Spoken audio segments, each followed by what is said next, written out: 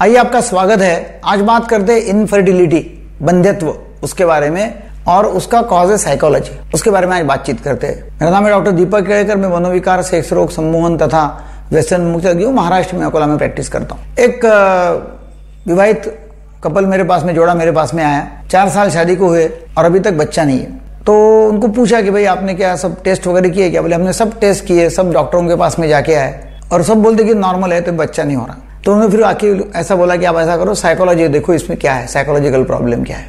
तो फिर मतलब ठीक है, देखते हैं क्या साइकोलॉजिकल प्रॉब्लम है। उसका मैंने डॉप्लर टेस्ट करवाया तो वो नॉर्मल था। सीमेन काउंट थर्टी मिलियन था और एक बार उसका रिपोर्ट जो है वो 45 मिलियन था, एक बार का 30 मिलियन था पर एम पर सीसी मतलब उसमें सचमुच कुछ दिखाई नहीं दे रहा था। फिर बोले प्रॉब्लम क्या है?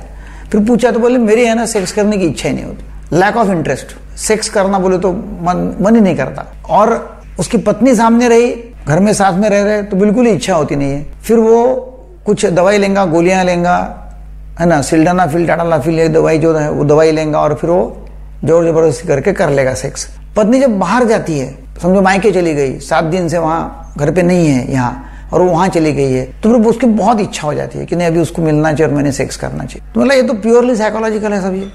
घर में पत्नी है तो इच्छा होती नहीं है, घर के बाहर चली गई तो फिर ऐसा लगता है कि नहीं, अपन ने करना चाहिए। तो फिर इंटरेस्ट क्यों नहीं है? अच्छा फिर मेडिसिन लेके आपको इंटरेस्ट आता है? क्या बोले मेडिसिन लेके फिर मैं कर लेता हूँ। तो मेडिसिन फिर महीने में कम से कम दस बारह दिन मेडिसिन लेता है वो।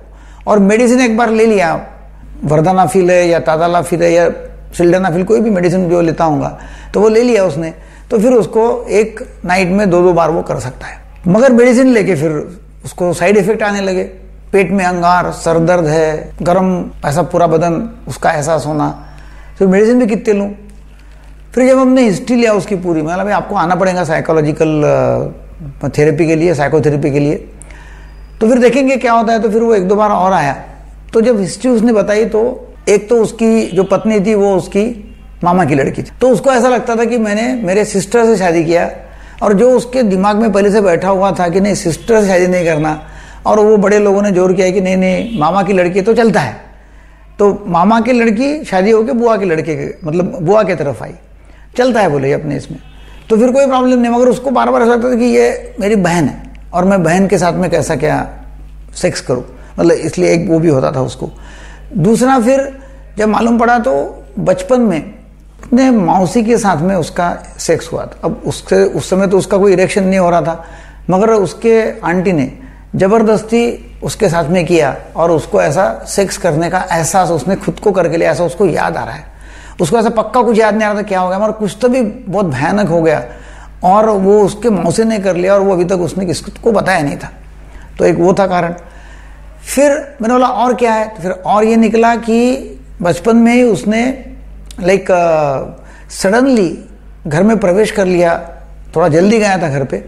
यूजुअली वो 11-12 बजे रात को आने वाला। लड़का मतलब बड़ा था तो 17-18 साल का है, घूमते हैं बच्चों के साथ में तो 17-18 साल की उम्र में लेट आने वाला लड़का जल्दी आ गया घर में करीब करीब साढ़े नौ दस बजे आ गया।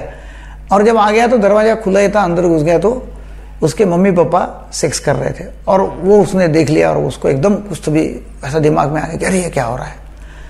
और फिर वहाँ से उसको एक सेक्स के बारे में घृणा जैसी हो गई कि नहीं, सेक्स बोले तो गलत है, सेक्स बोले तो ठीक नहीं है। और उसके ऊपर भी अपन ने अपने बहन के साथ में शादी कर लिया है तो वो भी ठीक नहीं है। फिर वो ऐसा सब उसमें दिमाग में चलते रहता था। और फिर उसको बच्चा ही नहीं हो रहा।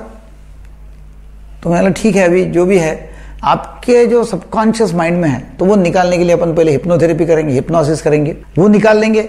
जो भी अंदर एक बिलीफ बैठा हुआ है, एक ऐसे पक्के विश्वास बैठे हुए हैं, वो निकालेंगे।